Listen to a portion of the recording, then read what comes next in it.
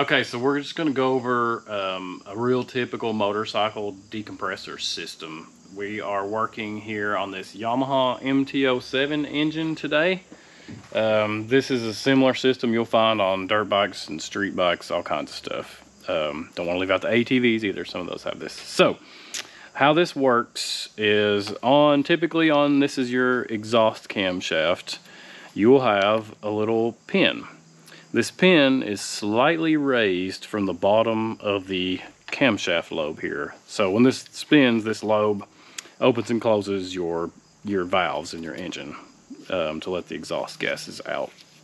So at a very low RPM, like you would have from your starter motor, when this spins and this is all in place, this pin that's slightly raised just barely opens, and this engine has two of these, there's one over here as well, just barely opens these exhaust valves and bleeds off just a little compression. And that slight amount of compression just lets this thing really start to spin. Once the engine fires and starts by centrifugal force, these weights sling out. So when the weights sling out, you can see the pin, it moves.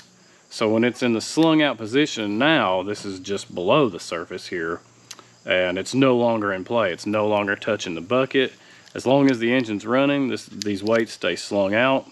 As soon as you turn the engine off, the weights come back in by these little springs here and it's ready to start again. So that allows you to have a, a large displacement, high compression engine, but it can still be started by a smaller starter motor starter system. So if you ever have trouble with this, usually what will happen is this will stay out or, it, or the opposite, it'll be stuck in.